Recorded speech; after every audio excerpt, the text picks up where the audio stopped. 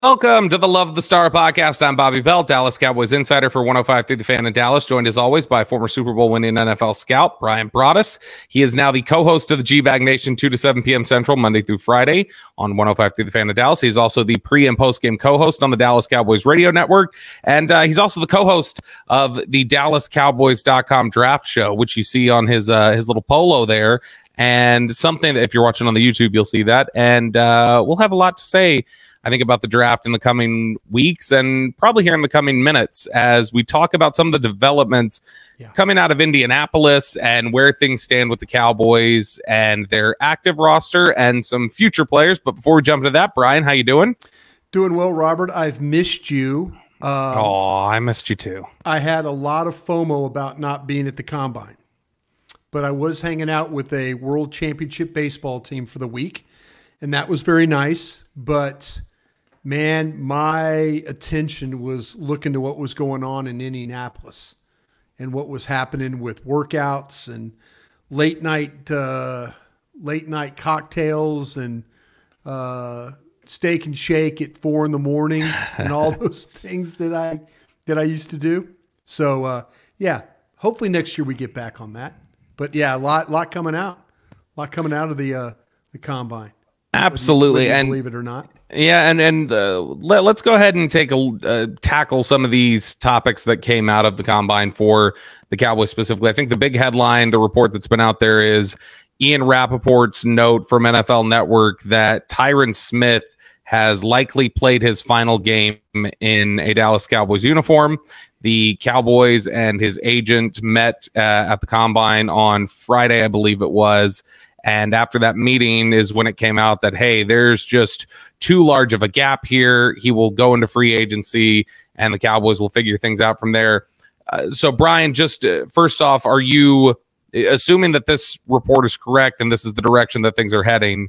Um, are you surprised that Tyron Smith is ultimately going to play somewhere else? Are you surprised the Cowboys didn't push more to get something done? Or do you think it's just, hey, this is ultimately where this was going to end. There was going to reach a breaking point where Tyron wanted a certain amount of guarantees, and the Cowboys were going to say, "Well, we can't do that because of your injury history."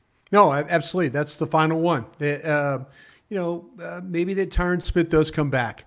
Uh, you know, if, will if it turns into him going to get more money, he won't be back. If he's chasing a ring, he might not be back. Uh, you know, we'll see what happens with Dallas and you know, going forward and, you know, where we feel like that their chances of getting a ring are. It's been, you know, pretty pretty bleak here the last several years when it comes to, you know, playoff success. But if he's chasing money, they can't match it. If he's chasing a ring, we'll see. But yeah, there has been a lot of uh, for a long time, Tyron Smith had given the Cowboys a break on his contract. Yeah. And he played at a very, very high level. The problem is he his availability is not always there. You know, three games, four games, two games, that kind of thing is what we've seen. Played 13 last year. Um, played at a very, very high level. Uh, and so he's probably looking at this as like, listen, I don't want to go through another one of these pay for play type situations. And you know what? Don't blame him. Don't blame the Cowboys. Uh, you know, there's a couple of different ways they can go, and we'll probably talk about those here on this show.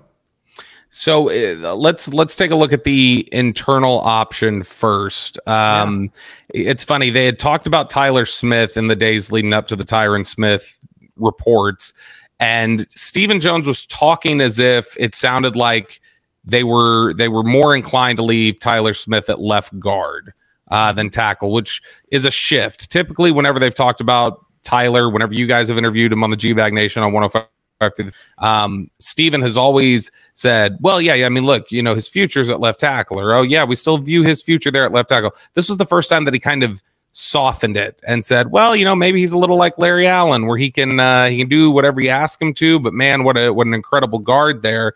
And, and so it sounded like they were inferring Tyler Smith's future at guard. Do you think when that statement was made?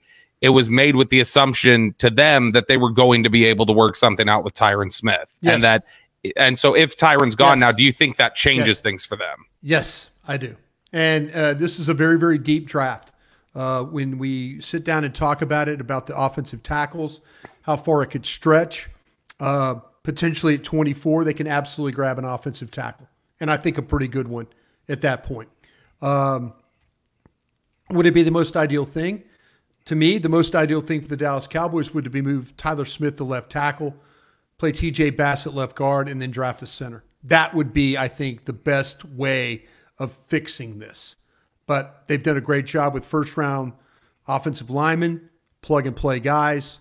Um, I don't doubt that they won't do the same thing. If they want to keep Tyler Smith at left guard, then now the left tackle is clearly in play here for this football team. What do, you, what do you think about just personally for yourself, Tyler Smith's future? Because I've looked at him and man, I, I, thought he was so impressive last year with the, the way that he grew. And and I think when people look at the way he played last year, they're like, well, look, he was an all pro at guard. Why would you move him off that? We saw things were, you know, good, but they weren't necessarily dominant at tackle. So clearly you got to keep him at guard. And to me, it's like very young player who's still coming into his own. I think what you're seeing there is the leap of a second year player more than just he's a guard instead of a tackle. But to me, I, I felt like Tyler Smith has the skill set to be a really, really good left tackle and, and, to be one of the top left tackles in the game and and be one of the top guards in the game if that's where they choose to play him. But I, I think the growth that we've seen there is encouraging wherever it is that you choose to play him. But Bryan, if you could, uh, let's say you could get an equally good player at whatever spot you left vacated by Tyler Smith. So if you play Tyler Smith at left guard, you're going to get a league average left tackle. If you play Tyler Smith at left tackle, you're getting a league average left guard. Where would you prefer to play Tyler Smith in terms of just his ability and what you think he can be? Seen him play both. Saw him as a rookie play left tackle and uh, didn't disappoint me there. Um, seen him play a sophomore season as a left guard. Really didn't disappoint me there. I kind of feel like that his best position is probably guard, and, and you know the way that you know the way that um, I feel like that anything to do with power and to be able to hold up inside, um, I think that's his strength.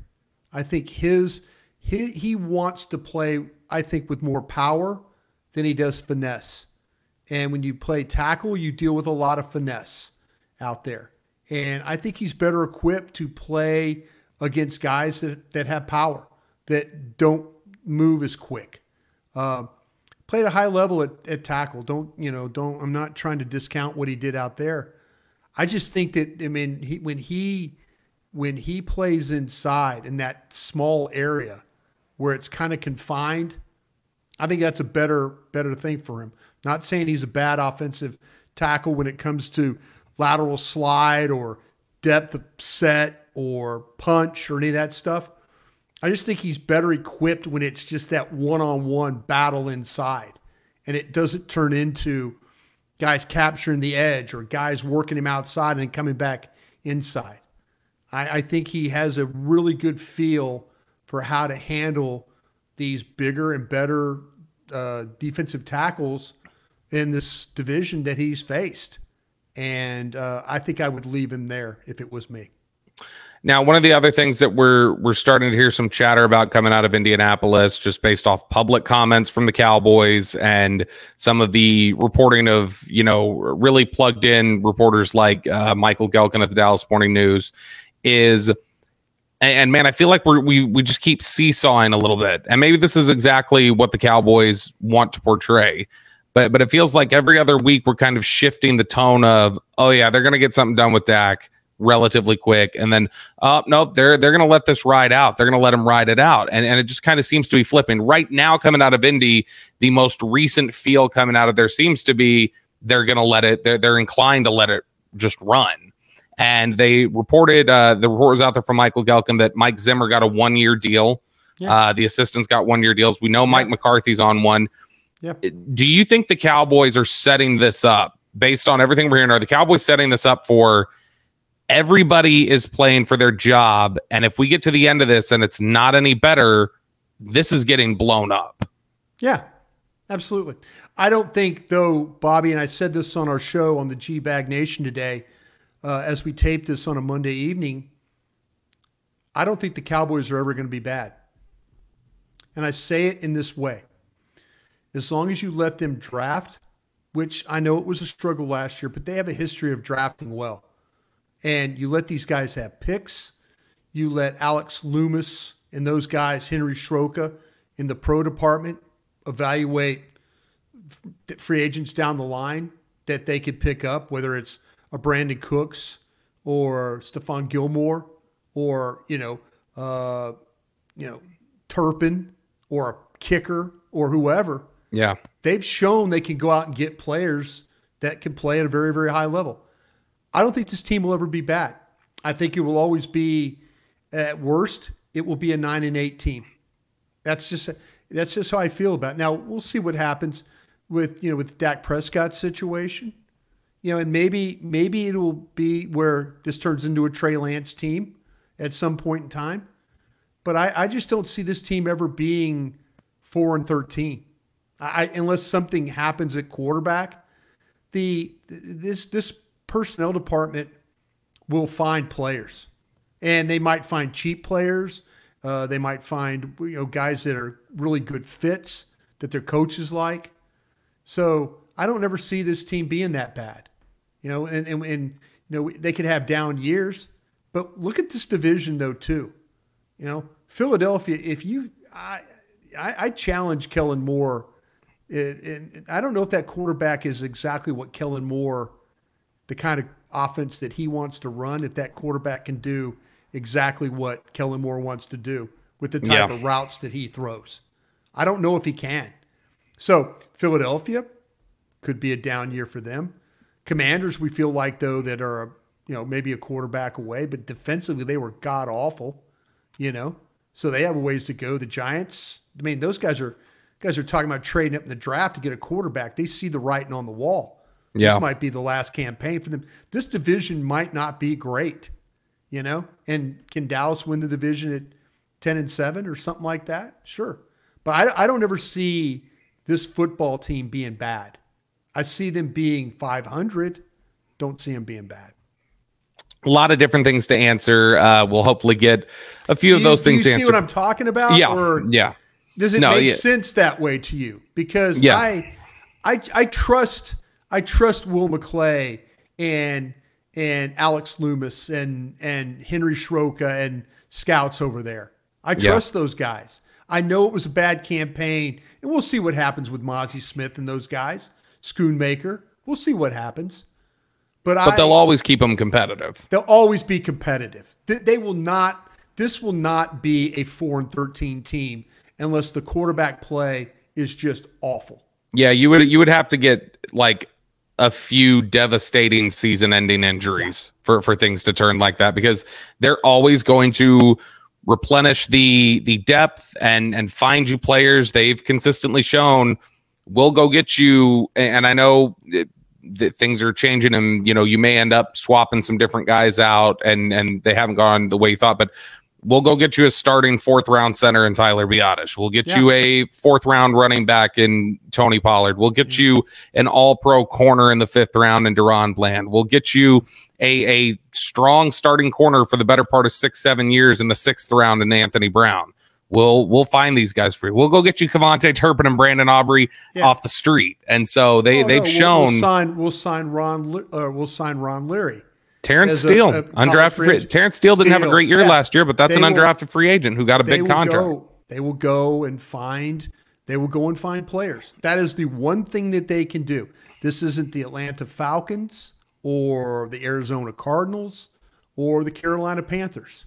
You know, this this team does a really good job of evaluating players and bring them in. Now, the problem is, are those players good enough to win playoff games?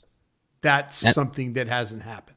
Yeah, and that's something that you know you're you're going to have to answer. Can you find those guys to get you over the hump? And a lot of people would say the person to get you over the hump has to be the quarterback. So until you improve that quarterback, and, and that's something. Look, I think Dak can win a Super Bowl, but that's what a lot of people are going to say is that look, there reaches a point where you've you've got to make it happen, and if you don't, you have to move on. And so that's something the Cowboys are probably wrestling with right now and something we will be getting answers on in the very near future. You are listening to the Love the Star podcast, the Love the Stars and Audacy podcast. You can find it on the Audacy app or wherever you get your podcasts.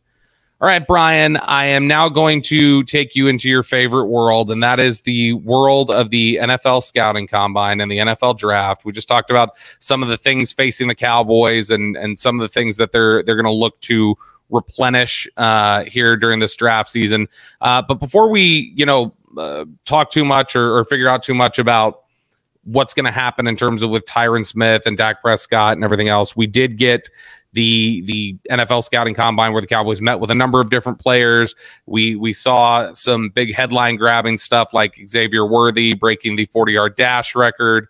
Um, different notes like uh, you know the the top quarterbacks just choosing kind of to to be a little hands off at this and and not participate very much. Um, and, and does that start a new trend?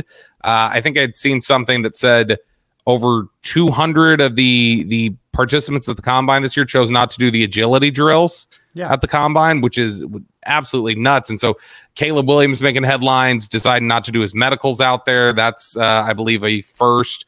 Um, but Bryan, kind of just your your general takeaways from from the combine, guys that maybe impressed you, guys that you think their stock has increased, or maybe you think, man, the way that testing looked, I'm going to have to go back and, and look a little closer at that guy. Or, man, uh, maybe I've cooled on somebody because that is not the way I expected them to test. Well, I'll say this the first off, and I appreciate everybody out there that that follows along on our show. And then when we talk about players, and then you and I do the draft show on DallasCowboys.com. Yep. And that's one of my favorite shows I've I've ever done. I love the draft show with all my heart because of where we've taken it and I just want to remind people if you're a guy or gal out there that likes to dabble in the drafting and say you watch players on YouTube or however you're getting your players, however you're watching this, you know, and you want to have an idea, you're like, man, I kind of like this guy better than this guy and all that. You know what? You're probably right. Your first thought about your player is probably right. Yep. And so be really careful as you digest the combine that you don't let the combine influence you in a way of like, well, I got to just push that guy way up the board. I got to drop this guy way down the board and all that. You know, your first evaluation is usually the right evaluation. And I know me personally, I'm a big fan of the the tape. However you get it, I'm a big fan of that. And if I see a guy playing well, I'm I'm generally going to put the guy where he needs to be, where I think sure. he needs to be. And I think teams are that way too. You know, we become enamored. There was a time when this thing wasn't televised, you know, and we were, as scouts, sitting there kind of like, okay, numbers, numbers, numbers. Okay, that translates. That translates. Man, that guy's playing a lot faster. That guy's playing a lot slower. You know, you used to take the combine and do it that way. I just encourage folks to just keep your first thought as your best thought. And then if you have to circle back and circle back and look at a player and say, wait a minute, okay, I see the explosiveness here. I see the quickness here. Oh, wait, he doesn't finish very well. You know, you could watch Blake Corum play at Michigan and you watch him run and he runs four five three at the combine or you know four, in the four five high four. Yeah, it was four five two, I believe. Yeah, so four five three, four five two. Yeah. So, so all of a sudden you're like, wait a minute, you don't see the four three or the four four, and now you can say, okay, Blake Corum doesn't have any extended speed. You can translate that way, is what you can do, and so I, I encourage folks. You know, combine very important. The most important thing for me about the combine was are the physicals. And I I don't like the trend that Caleb Williams has done here, or I shouldn't say a trend, because he's the first one. To the precedent, I, potentially. Yeah, the president of uh, that. I don't like this because there was a time in the early '90s when I started that I could go to a school, USC, and I could get medical information. I could talk to the trainers and you know, I could players could sign off and give me all the information. You know, the packet. You know, trainers would give you a, a packet, and here's the guy's injury history, and you would kind of know about it going in. Well, yeah. Now, because of HIPAA laws and all that, I don't get that. The combine for me is about I need that medical information about you, though. I need that to help me with my decision. What Caleb Williams is doing, and if Caleb Williams takes a 30 visit to Chicago Bears and then does his does his visit there, gets a physical and all that, and then cancels everything else, you know your story. Chicago Bears are going to pick Caleb. They're going to trade Justin Fields. Caleb Williams is going to be the first overall pick, and here we go. If I'm sitting in the five hole or the six hole and I need a quarterback, I'm thinking about trying to bring Caleb Williams in because I might trade up. You know, yeah. how could I draft a guy that I don't have the medical information on? That that would be very, very, very hard for me to do. See, this is where I get robbed a little bit. If I'm if I'm one of these teams like the Giants, you know, maybe the Giants don't trade all the way up the board. Maybe they do. Maybe they feel desperate enough to go up and give Chicago what they want to get that pick. But I don't have a medical on Caleb Williams while I'm doing this. Yeah. Maybe I'm making a big deal about it, but this to me, that's the troubling part about it. You know, now if I bring him in on the 30 visit, I don't get to really spend time with him. Now, part of my day is spent trying to get him a physical, trying to get him in, the MRI uh, tube, trying to get him to all the specialists that need to see him. You know, you know, it's this isn't just okay. Turn your head and cough. You right. know, this is this is something. You know, we found injuries through the combine. We found fractured foots, fractured backs, heart issues, heart issues. We found all these things because of the Indy Combine, and now, you know, if if if again, if Caleb Williams, he's setting himself up to like, if team what the what you know what the Commanders want to visit with him, was he going to say no to the Commanders? You know, what if the Patriots want to visit with him? He's going to say no to the Patriots? Yeah. Every place he's going now, he's going to have to get a physical. Every one of those places where he could have just knocked it out, you know, and then and all of a sudden now we're all, you know, and I I, I get it. Maybe I'm being old too old school, but I have. I don't get it. You, you you can say I get it. I don't get it. I look. I think I, I think Caleb Williams is a really special player. I think Caleb Williams has a bunch of questions about uh, his makeup as the face of a franchise, and I think that none of that helps when he decides to enter the league without an agent and then is making unprecedented decisions uh, at the combine without even the like advisement of an agent telling him you should. Like maybe I could say, all right, well he hired Todd France at CAA, and Todd France must know something or feels like, hey, let's do this, let's drive this hard. This is just Caleb Williams doing these things on his own. And I think that that's the concerning am, am aspect I, for that. being unrealistic again, I'm just trying no. to. My experience like when I ran the draft in Philadelphia, and and and I and if I wouldn't have had if I wouldn't have had the medical information on Jeremiah Trotter Sr., yeah, you know, what if he decided he didn't want to he didn't want to take the medical? You know, right. I wouldn't have had that, I don't think I could draft the player because I knew going in that he had a history of knee problems. You know, so, and, I mean, I'll give you an example. Wilson, the kid from North Carolina State, the linebacker. Payton Wilson, yep. Payton Wilson, I think, is one of the best linebackers in the draft. He had a, he has a lot of medical questions, a yeah. lot of medical, and there's probably going to be some stuff coming out about him. Okay, so keep an eye on that. But that's kind of the concerns I have. You know, the guy's been clean for two years, but there's going to probably be something that we learn that if you if he didn't go through all the physical part, I would not be able to draft him. But if Caleb if Caleb Williams goes to to the Bears, 30 visits, does the physical, and then cancels all the other 30 visits that he's on, you know who the first pick of the draft is going to be. Yeah. But yeah, it tells you every. It tells. Yeah, I, I just would worry if I was one of those teams that wanted to trade for him now. Is he going to even? Is he going to come visit me to get a physical? I can't yeah. even I can't even I can't even plan for that.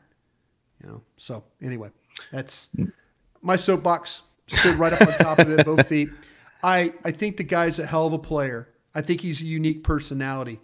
I think we're now in an era where the players run the game.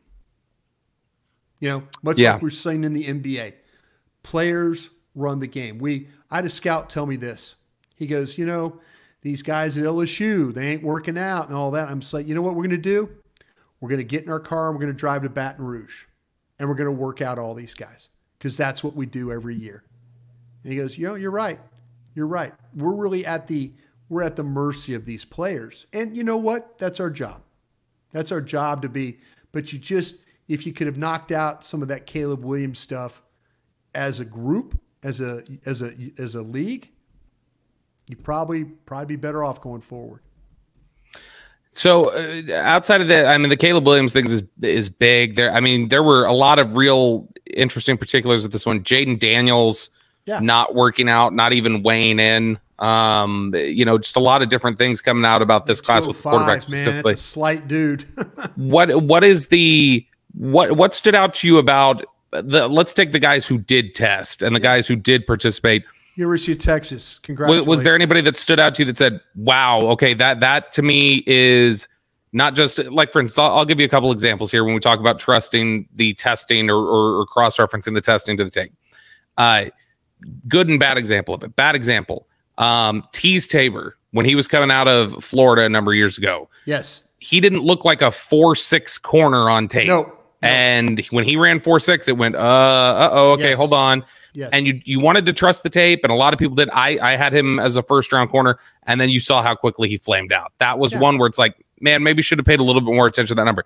Then you have some other ones where it's like, you know, TJ Watt was asked to be a push pull guy at Wisconsin. Yeah. So you didn't necessarily see some of the athleticism, but then he goes to the combine and does things athletically that you're like, that didn't look like that was going on at tape on tape. You didn't see that kind of athleticism on tape. Yeah. And so it makes you kind of go back and look, and that ends up playing he is that kind of an athlete. That is the kind of player that he could become.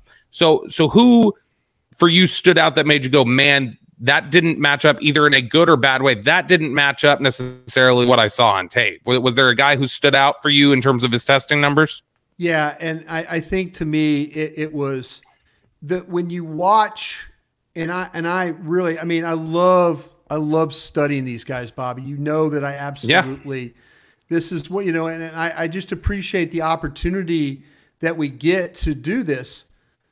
But Kalen King from Penn State was that guy for me. And I know people out there going well who's Kalen King?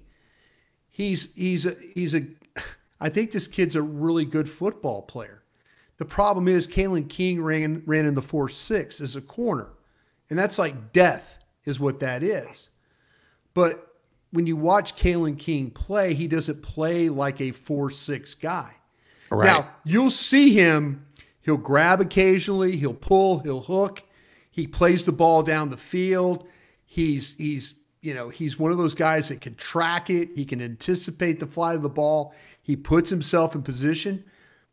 I thought the speed was good enough to allow him to carry or to drive on the ball when he had to.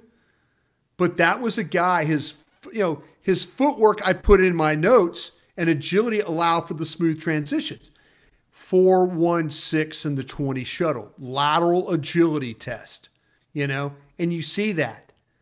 So high football IQ, some lateral agility on the tape. He just doesn't. Now, I could go to Happy Valley. I could go to State College and Penn, at Penn State. And if I really like this kid and mm-hmm. I time him, I could get him at 38 yards if you want me to. I can. I could stand there and hit my clock early, and I could get a good time for this guy. But Kalen King is a kid that, that plays really, really, I think, at a very high level. He just doesn't run a really great 40. And, you know, I'm there's there's there's that, you know, you, you just don't want to back off. You know, when I when I see a kid, Keon Coleman from Florida State, Another guy, you know, you watch him play. This guy was a basketball player at Michigan State. He was a football player. He's he's got that elite size, frame, ability. He doesn't look like a four-six guy when you know you watch him return punts. Which which was interesting. He's a four-six guy in the forty. Yeah, and then when he did the gauntlet, he went through the gauntlet faster than any of the other receivers. So See, he's a little bit saying. And and, and one example, the guy who did that last year was Puka Nacua. Yeah. And Nacua was a four, five, seven guy who then ran through the gauntlet fast. So right. yeah, you're right. You, right. you got to see these as different things. Yeah, I mean, I I'll tell you what, uh, the kid Roman Wilson from Michigan. Michigan. Okay, 5'11, 185. Roman Wilson to me, I was thinking Roman Wilson was a 5'8 guy. I was thinking he is a short little guy. And you know, you watch him and you know, he he he really came on the scene in his senior year. And he was a major factor of, of Michigan winning the national championship. Huge plays in the Alabama game. But you know, you, you when you watch tape, you were expecting a much smaller guy. And then you watch him going through those drills and you're like going, wait a minute, he's a little bit bigger guy and he's got really good hands. So, uh, you know, it's those are the kinds of things that, uh, and I, and I have to share something too with you. Uh, my son Bennett is, you know, as you know, is a, as a sophomore at the University of Texas. And uh, he, he, he gave me my first line when I wrote my Xavier Worthy report, uh, you know, well before the combine. And I, my first line was, I'll steal a line from my son Bennett when he described hmm. Worthy's game as, Dad, he's Calvin Ridley plus route runner with breakout speed. Mm. That was my son's scouting report. He nailed it on Xavier Worthy. But Bennett goes to all the games and he and he yeah. he just lives it. But that's what I'm saying. You know, fluid, elite explosiveness, speed.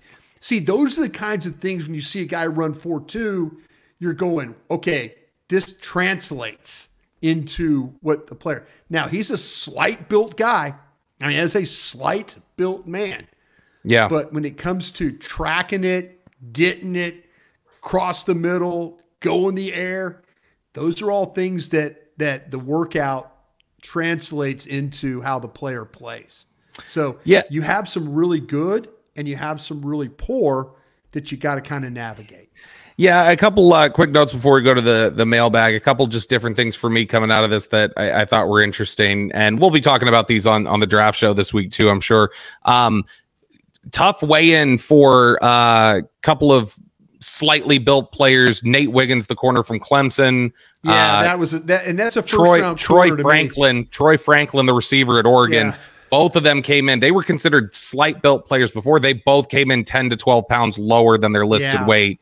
Yeah. And now now you're looking at okay, uh, the same questions you asked about Nate or you asked about Emmanuel Forbes, you're probably asking Forbes. about Nate Wiggins. Um, you know, a little bit of a callback here. Maybe some of the same questions you asked about um, uh, Dede Westbrook. You're asking about Troy Franklin now.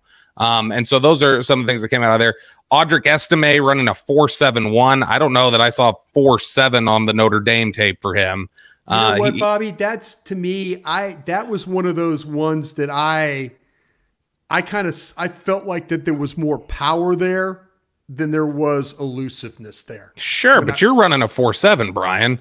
Audric Estime should at least run in the four sixes. I, I just don't. I mean, to me, everything that you really watch with him is a head of steam guy, mm-hmm. you know, and knows for the goal line. And I, I said this. This was one of my lines in my report. I did him probably two weeks ago. Speed is good enough, but I wouldn't say that he has great long speed. But you will see him finish some runs. And I, I, I just didn't see a really fast guy. Like I thought he was a little bit more straight line. And then there were some other times where he did have a little la- a, a lateral agility to his thing, but he runs with short, choppy steps. And I didn't see a lot of quickness with him.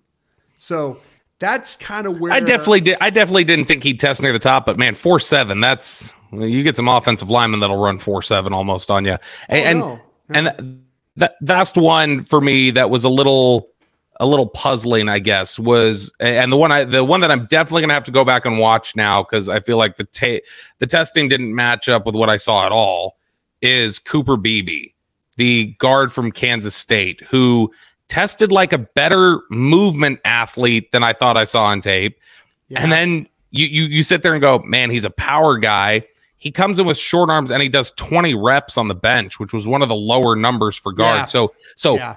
low power in his testing and much better athleticism than I was expecting. So Cooper Beebe really threw me off because that was kind of the complete opposite of what I had seen him do on tape. Yeah, there's there's times where he's had when he had some trouble dealing with some quicker opponents and you know, but you didn't see him on the ground or stumbling around. So you thought about the athletic ability. Uh, the thing with the the bench, and that always kills me because Aisha Morris and I were talking about this. She goes, "What do you look at at the bench and how?" And I was saying sometimes some really long arm guys struggle with the bench, which he's not, because you have to drive the bar, and yeah. you know, and they're watching to a certain level where the bar is going every time. You know, mm-hmm. they're counting, and they'll say, you know, sometimes it's twenty good reps, four bad ones. You know, you think twenty four. Yeah. They, they only give them 20 because they didn't go past the threshold of of you know the lifting there.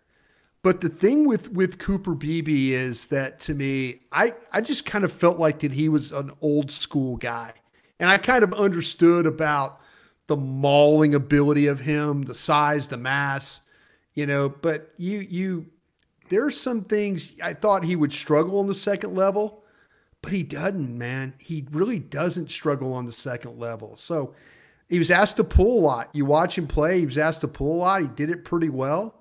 So I know Zach Wolchuk really, really liked yeah, him a lot. Big fan of his. Big fan of his. And but well, the I, mental processing is really good. There's a lot to really like about yeah. him. I was just, I was floored that with 31 and a half inch arms or whatever yeah, he had, he did, yeah, he did 20 on careful. the bench. Yeah, you got to be careful of that too. Because, but his shuttle and his three cone were good, yeah, and he, you know, it's just, it's, it's interesting. And more, more fun stuff to dive into throughout this week. You're listening to the Love the Stars, the Love the Stars and Audacy podcast. You can find it on the Audacy app or wherever you get your podcasts. All right, Bryan, it is now time to dive into our Dean Julia Love of the Star mailbag. A lot of questions uh, this week. In fact, this is this is the big one consistently from everybody. Uh, they're they're wanting to know about, and we'll continue the draft theme with the Tyron Smith discussion, and if the Cowboys are serious about playing Tyler Smith at left guard. There's about 20 people that want to know what tackles are you looking at at pick 24 if you if you draft an interior offense let's say you get a center to replace Biadasz at 24 yeah. what tackles could you potentially be looking at in the second or third round? What, what are some names in general? Just kind of give us an overview of this tackle class Bryan which everybody has been talking about recently is a really rare class. It's a good class to need a tackle. Yeah it is it is a very good class to uh, for the offensive tackles. And you know, it's it's funny because we were talking about Beebe, and there seems to be more. I was talking to a scout today uh, about about uh, the Alabama kid uh, Latham is yep uh, J.C. Latham. J.C. Yep. Latham, and I asked him. I said, "Do you feel that Latham could be a left tackle in the league?" And he said, "Man, I don't think so. I think he's a right tackle only, but he, I think he would be a killer guard." You know, so there maybe some of these guys, when you look at these offensive tackles, I, I kind of feel like down the line guy, uh, we'll see what happens. We'll see what happens with Morgan, and then we'll see what happens with the Washington. Uh, yeah, let's let, let, let me throw some of those. I'm I'm going to yeah. throw some guys at you real quick, Bryan. You just tell okay. me if you'd play them at tackle or guard, okay? Right. Uh, first one, uh, Taliese Fuaga from Oregon State. I would play him at tackle. Jordan Morgan from Arizona. I would play him at left tackle. Okay. Uh, Troy uh, Fautanu. Fautanu, I think I would consider playing him at guard, but I think he, I think he's I think he's got the skill to still stay at a tackle spot. I love his toughness, though. See, if I had to rate, I had to rate um, Alt is my number one guy, and then there's Fuaga, the Oregon State kid, right? Yep, yep. And then I have the Penn State uh, kid after that. Olu Fashanu. Fashanu, then Guyton, and then Latham. Those I have five first round grades on those guys five first round grades. So you have Guy, you have Guyton above Mims.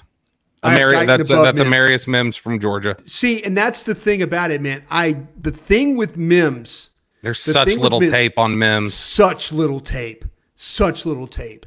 And that's that is my problem when I when I look at these tackles. Now, I have the BYU kid in there. I have Morgan. That's uh, Kingsley Suamataia from BYU. There you go. I appreciate your coming up with all these names. But yeah, I've got I've got like nine guys in the first two rounds, and then Fisher from Notre Dame, Foster from uh, Missouri is another kid I watched. Our Yale kid, how would you say the Yale kid's last name? Uh, the the Yale kid that would be uh, Karan uh, um, Amegadjie. Amegadjie. Karan. Amegadjie. Amegadjie. Okay. I had Fisher, Foster, Amegadjie, and Paul in the third round. So that's how far I've gotten with the tackles so far. Now, you know, I, I the, a, a, guy I really liked tonight that I watched was on the opposite side of Fashanu. I'm curious, where did you grade Caedan Wallace, the right tackle over there?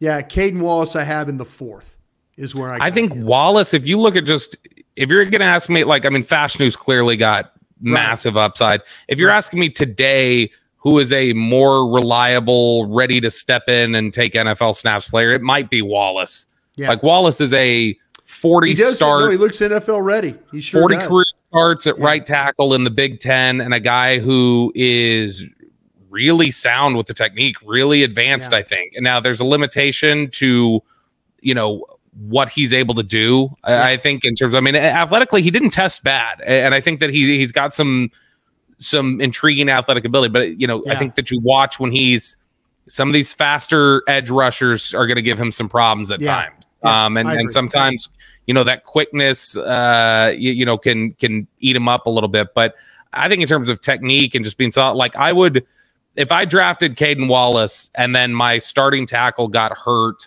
uh, you know, right before week one, and I had to plug and play rookie Kate Wallace uh, at tackle, I would feel better about him than some of the guys I have graded above him just for next year because I think he's yeah. somebody who is a, a pretty steady option. But if you're looking for a, you know, I, I'd put Wallace in the third. If you're looking for a yeah. third, fourth round option in a really deep class, that might be a name to know. You you mentioned sure. Fisher from Notre Dame. Yeah. That's a guy who more high ceiling, more like, hey, there, there's some traits yeah. here that you're going to bank on. It's not all put together yet, but Fisher can be that guy for you. And so I think, I think Foster, eh, I think Foster at Missouri is a good player. A little yeah. bit of a lighter guy, but I, I, think you know when you start to talk about those third round offensive tackles, he he fits right in that slot for me. Now, when we look at the interior of the offensive line, because that was another question we got a lot of. These were very heavy questions this week on tackle and center. Yeah. Uh, if we look at the interior of the offensive line, how do you grade those guys out in the top three rounds? Who all have you seen at center specifically that you, yeah, you would Johnson be interested Powers in? is my only first round center. Jackson Powers I, Johnson, that's from uh, yeah, Oregon. Yeah. I have, I actually have Frazier over Barton in the second. And okay. I'll tell you why. I've seen Frazier play center. I haven't seen Barton play center. You know, that's now we talk about ceilings and floors and all those things maybe Barton's a better player. I, I know one thing. You watch Frazier against Texas, the West Virginia center, he holds his own inside against those guys. When we're talking about Murphy and Sweat and those guys, he was able to hold his own inside. So I kind of like him. I think that I don't think you could go wrong with Frazier or Barton in that second round. Van Pran, the Georgia center, I got in the third round is where I have. So the the centers that I've seen so far. Now I need to get on. Uh, you need to watch the Penn State kid. Penn State. I need to watch Arkansas. Uh, who who is the one that tested really really well? Uh, the with the Italian last name that uh, the center that tested really really really well. Oh, um, yeah. Let me pull up the combine numbers. Yeah, well, pull it up if you could. But I know Aisha Morrison was telling me hey, you got to watch, you got to watch these centers. She's she went into it a little bit further than me. Like I say, I've got the four guys that I've done. Who who is the guy? I'm the guy pulling it up right now, but uh, here while I pull that up for you, I am going to ask you really quickly if I could throw you out the option, Bryan, of let's say um, you have Fuaga in the first round, right? You said. Uh, yes, I have him as my number two number two offensive tackle. Okay, if I could give you Fuaga and let's say Frazier in the third, or yeah. I could give you Powers Johnson in the first and Paul in the third. See, I mean, that's the problem I have. Which would I, you rather have? I, geez, you need the center so damn bad. Wisconsin center, by the way, uh, Bortolini. Bortolini, thank you very much. They People love their Wisconsin me, centers here. They, yeah, there you go. I need to I need to watch the what the Arkansas Center and the Wisconsin Center. Uh, two I have to to have to get on here, but uh, that's a tough one because I love Johnson's power, but I think, damn, I I mean I've got a second round grade on Frazier. If you gave me Fuaga and Frazier, I think I would be pretty good to go. I think I think that would be my combination because Johnson Powers I have a one, and then Paul I have a third on the flip side of that, Fuaga, I have a one. Frazier, I have a two. So I think I would take the combination of Fuaga and Frazier and, and go go with the battle with that. And there you go. That's just some of what you have to look forward to over the next several weeks as we do, continue do to dive into it, the draft. Do you, do you like Paul more I, than me? Do, do uh, no, I got yeah, slightly. I got Paul as my last second round grade tackle okay. right now. I got the BYU kid as my last second, which I actually have. I don't have a center in the first round. I have Powers Johnson as a second. So oh, I would okay, cool. yeah, I would I would probably take Fuaga and Frazier. Yeah, I think I would that because Paul and Powers walk, Johnson are both second round guys. I think I got 22 names in the first round. I'm looking at my board as we speak here. Uh, that's four, that's five, that's. I have 10, 18. 11, 14, 17, 18, 21, 22, 22 names in the first round. So I have I have 18 and five of them are tackles. Yeah. Yeah. I, I'm with you on that. I'm so it's it's an interesting group, and uh, we'll have a lot more to say about it over the coming weeks uh, as we cover this Cowboys team. And uh, they're about to enter free agency. We're about to get a lot of answers in regards to what they're planning, and yeah. Uh, then hopefully get some clarity on on this draft and some of the visitors that they bring in there. So we'll be bringing that to you. Uh, remember to check out the draft show, uh, and then you can hear Bryan on more of these topics, and also check out 105 to the fan as well. For Bryan Broaddus, I'm Bobby Belt. We will talk to you guys again later. Hey, thanks for watching. If you enjoyed this video, please don't forget to give it a thumbs up and subscribe to our channel for more content like this. If you want to see more of our videos, be sure to check out our playlist and let us know what you think in the comments below. Also, don't forget to follow us on social media to stay up to date on our latest updates. Links are in the description. Thanks again for watching, and we'll see you in the next video.